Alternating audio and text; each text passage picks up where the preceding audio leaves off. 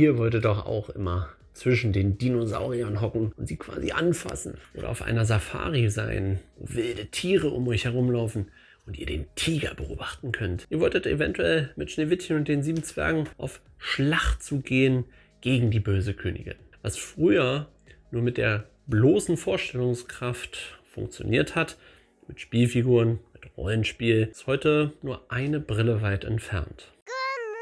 Hey Leute, herzlich willkommen hier zu einem neuen Video auf Sozialverzogen. Freut mich, dass ihr dabei seid. Ihr wisst, ich bin ein großer Fan von neuen Lernmethoden und neuen Lernwerkzeugen.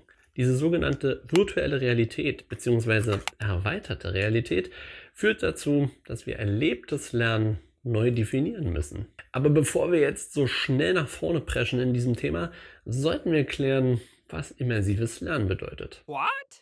Hierbei geht es um einen Lernansatz, der sich über VR, also Virtual Reality, virtuelle Realität, und AR, Augmented Reality, bzw. erweiterte Realität definiert. Bei der Nutzung von VR und AR befinden sich die Lernenden in einer digital interaktiven Lernwelt. Und dabei gibt es auch kleine Unterschiede.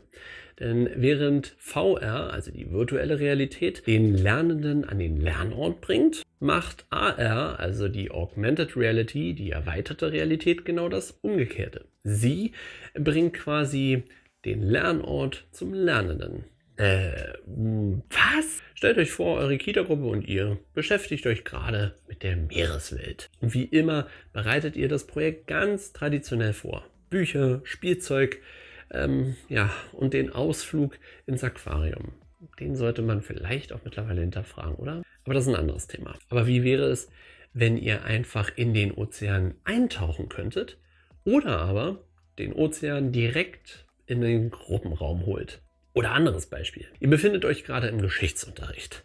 Irgendwo zwischen 100 und 200 vor Christus im alten Athen. Ausgetrocknet zwischen Krieg, Intrigen und politischen Scharmützeln habt ihr total den Faden verloren. Und selbst euer Lehrer hat Sehnsucht nach der Neuzeit. Wie wäre es also, wenn ihr das alte Athen besuchen könntet? Wenn ihr durch die engen, alten, dunklen Gassen laufen könntet und vielleicht sogar sehen würdet, welche politischen Entscheidungen getroffen werden? Oder aber Ihr holt Cäsar direkt in den Klassenraum und er schwingt die Reden seiner Zeit vorne am Pult neben dem Lehrer. Kurze Nachfrage. War Cäsar jetzt eigentlich nun Herrscher von Griechenland? Hm. Kommentare los, ab. Ich denke, das macht deutlich, wie nützlich VR und AR sein kann. Es gibt schon einige Berufsgruppen, die sich genau dieser Technologie annehmen. Ingenieure zum Beispiel bauen Maschinen vorab in VR oder AR, um genau analysieren zu können, wie sich ein Aufbauprozess entwickelt. So kann schon präzise geschaut werden, wo es eventuell noch ein paar Details gibt, die zu klären sind. In der Medizin wird diese Technologie auch genutzt. Und zwar, damit sich Ärzte auf höchst komplizierte Operationen vorbereiten können und vorab die Komplikationen abschätzen können. Und der schulische Bereich nimmt sich dieser Technologie auch hin und wieder an. Da werden ganze Kunstwerke angeschaut, Museen, Galerien, sogar Städte können besucht werden. Und das alles aus dem Klassenzimmer heraus. Und auch das macht wiederum deutlich, dass diese Technologie zu einem Paradigmenwechsel auf zwei Ebenen führen wird. Jetzt kommt bestimmt wieder diese ewige Predigt vom neuen Lernen und wie toll und wie ergänzend das doch ist. Aber es ist nun mal so, Lernen wird neu definiert mit neuer Technologie. Das ist der Zahn der Zeit.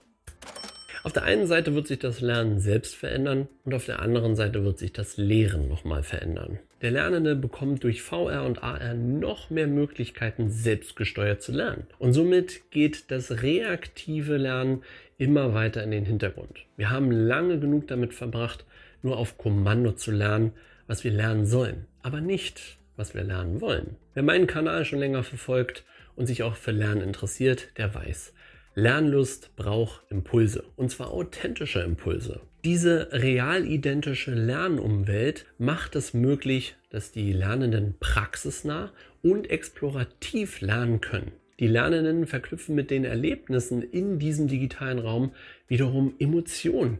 Und Emotionen führt dazu, dass die Lernenden nachhaltig und ganzheitlich lernen. So wie es Kinder schon zu Beginn ihres Lebens machen. Und mittlerweile ist auch die Wissenschaft überzeugt davon, digitale Inhalte zu nutzen, besonders eben auch VR und AR. Denn der Lernerfolg ist ungleich größer zu traditionellen Lernmodellen. Und da kommen wir jetzt zum Lehrer. Hm. Dieser jahrzehntelange Gleichschritt, das Gleichschalten von Lernprozessen muss einfach aufhören. Wir wissen nun, alle lernen unterschiedlich schnell. Alle lernen mit unterschiedlichen Lernmethoden. Natürlich gibt es Menschen, die brauchen das Frontale, die brauchen sozusagen die Häppchen, die hingeworfen werden. Die meisten lernen aber intrinsisch und die brauchen die Lernlust über Interessenfelder. Und nein, es geht hier nicht darum, nur noch alleine zu lernen und irgendwo in irgendeinem Raum zu sitzen und für sich zu sein. Überhaupt nicht. Gruppenlernen ist wichtig. Es ist sozialer Austausch.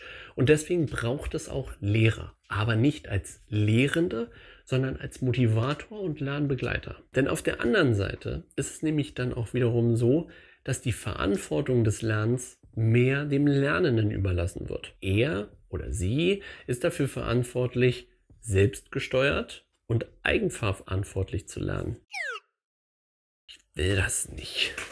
Ich finde das Schrott. Das soll so nicht sein. Die Kinder müssen auch mal wieder ein Buch anfassen oder einen Baum oder Spielzeug. Die sind ja nur noch digital unterwegs. Mann, das kannst du doch nicht wollen.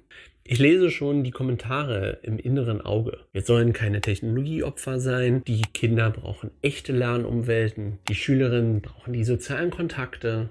Reale Lernerlebnisse sind das A und O. Ja, klar, schon. Aber trotzdem darf man nicht die Augen davor verschließen, dass VR und AR wunderbare Ergänzungen der Lernumwelt sind. Und ganz ehrlich, Technologie hat Bildung und Pädagogik schon immer mit beeinflusst. Irgendwann kam der Kassettenrekorder. Dann war es der Fernseher. Wir kennen es alle. Der große Fernsehschrank in der Schule. Dann der MP3-Player. Der Tipptoy-Stift. Alles Technologien, die mehr und mehr als Bildungswerkzeuge genutzt wurden. Der Unterschied ist jedoch, dass die Technologie heute so universell nutzbar ist. Und das macht es so wertvoll. Die totale Abneigung macht keinen Sinn. Es gibt ständig Neuerungen, besonders im Bildungsumfeld. Und da gehört Technologie dazu. Genauso wie Veränderungen in der Pädagogik, in der Methodik, in der Didaktik. Überall, wo es Veränderungen gibt, gibt es auch Erneuerungen.